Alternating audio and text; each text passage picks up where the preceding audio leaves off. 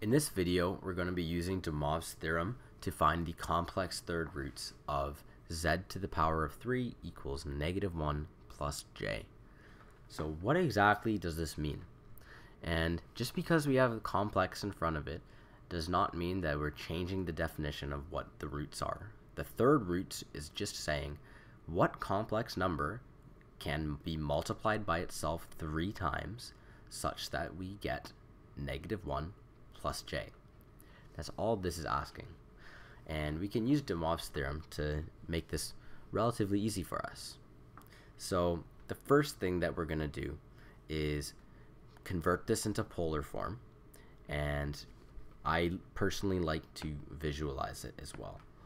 So first I'm going to visualize this. Real axes. We've got our imaginary axes. Okay. Negative 1 in the real and positive 1 in the j. That's negative 1. That is positive 1. And our complex number looks something like this.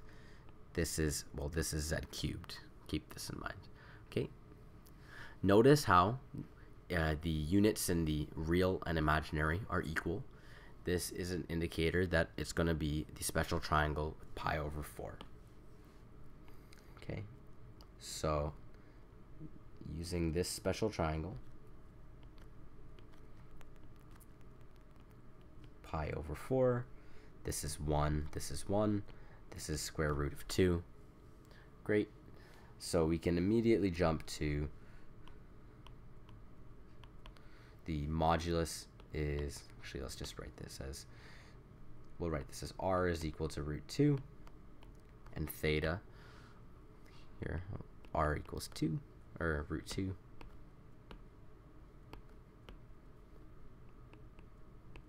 and theta we go from the positive direction of the real axis to the imaginary number or to the complex number.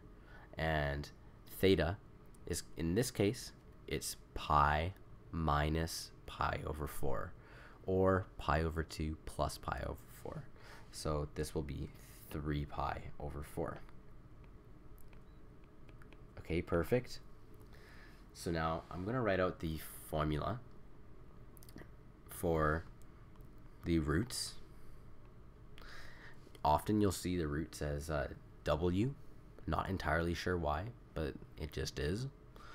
So we've got W sub k is equal to, and this is going to be the modulus times 1 over n, or to the power of 1 over n, multiplied by cosine of, this is going to be theta plus 2 pi times k over n, plus j times sine of same argument. Our argument wouldn't change. If that's confusing, go watch the video on what exactly is polar form. Okay, Great. This is the formula that we'll be using. And in this case, k, starts at 0. And we've got 1, we've got 2, because there's three roots. So we need three different values of k. And we know n is equal to 3, right? I've got a video on my channel of where exactly this equation comes from. It's not extremely important, I would say, but it definitely helps your understanding.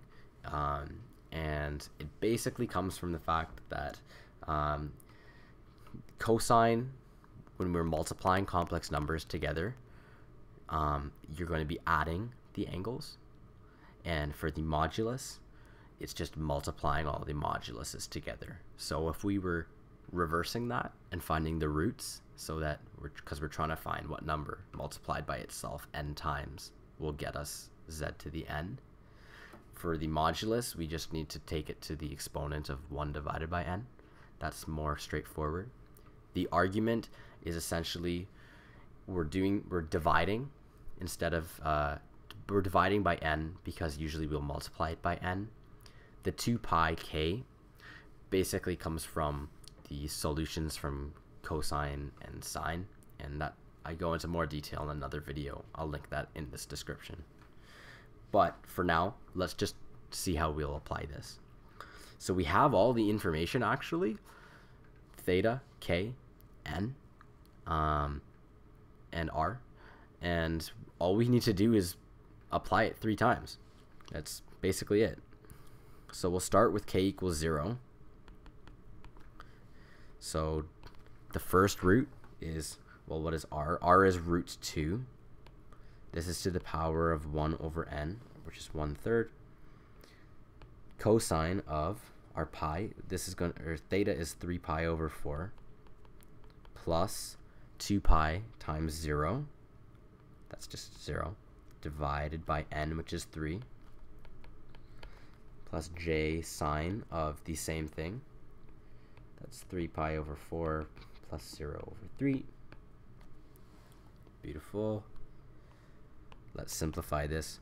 This is going to be 2 to the 1 over 6 times cosine of the 3's will cancel out. I get pi over 4 plus j times sine of pi over 4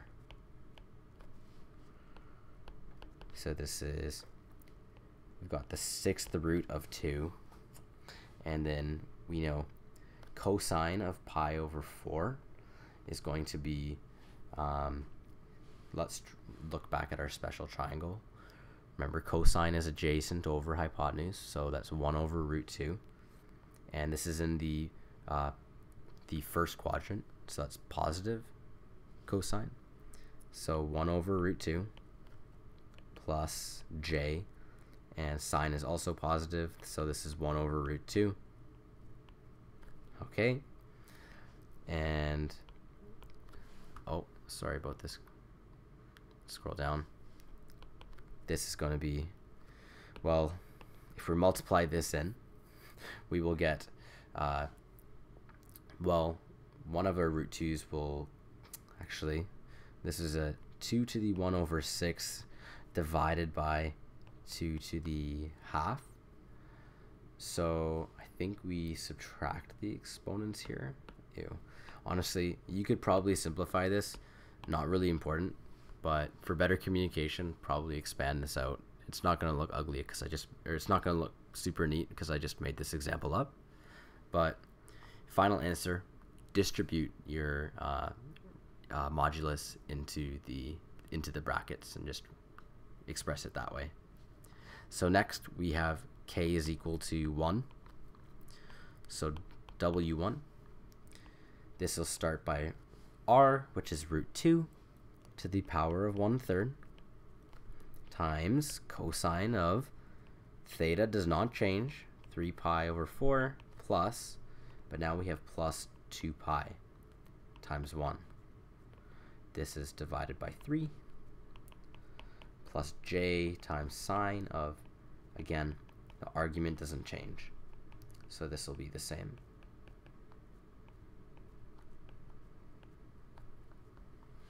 Okay. Root 2 to the 1 third. Alright, so doing this math, we get 3 pi over 4 plus, we can think of that as 8 pi over 4 that's going to be 11 pi over 4 because 3 plus 8 is 11.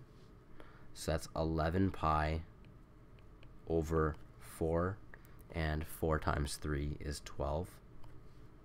So ooh, cosine of that. So this will be cosine of 11 pi over 12 plus j times sine of, this is again 11 pi over 12. Let's make sure we did that correctly. 3 pi over 4 plus 8 pi over 4, 8 and 3, it's 11 pi over 4, divide by 3. Oh, that seems right to me. Okay. In this case, 11 pi over 12, because I made this example up, this is not from a special triangle. We don't have a special triangle with uh, pi over 12 as a pi primary angle. Um, so in this case, you have to use a calculator to evaluate this properly. If we want to leave this in exact form, we have to leave it at this. So let's just leave it at this for now. But know that if you prob if you were probably asked a question like this in a course where you're not allowed a calculator, you would be able to evaluate these things in the question. If you're not for some reason, just leave it in exact form. Okay. Lastly, k equals 2. Again, we're just applying the formula.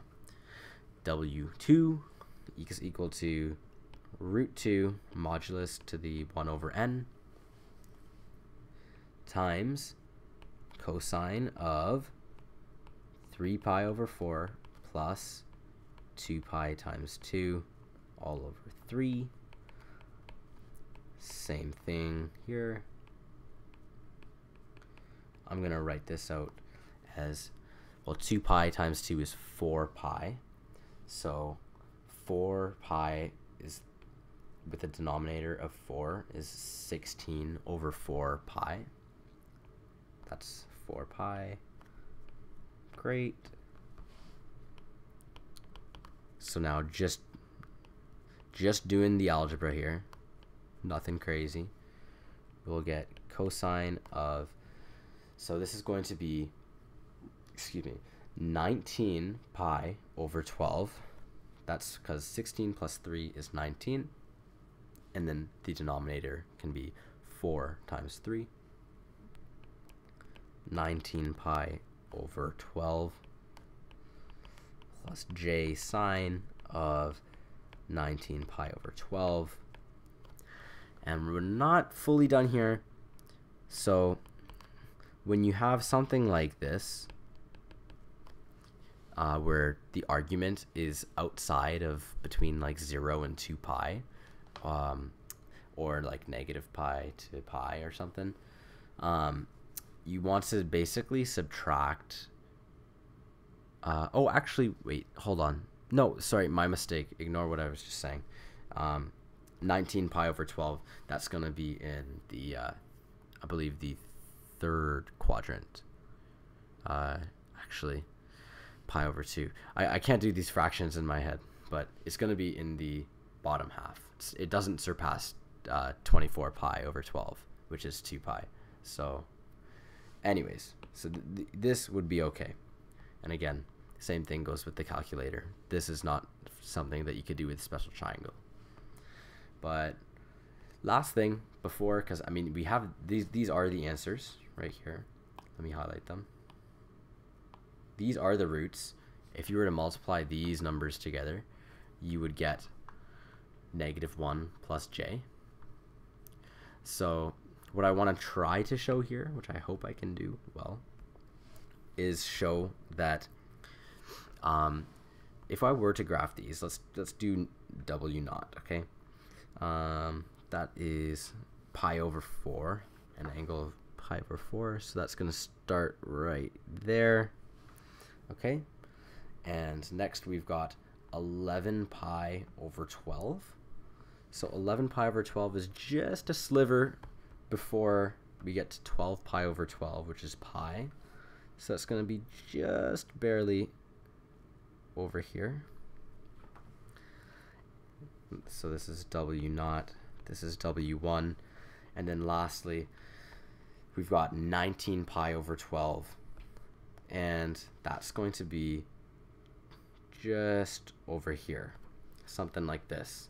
The reason that I can tell this is because actually you'll find that the complex roots should be equally, like completely equally distributed um, in terms of the angle that separates them.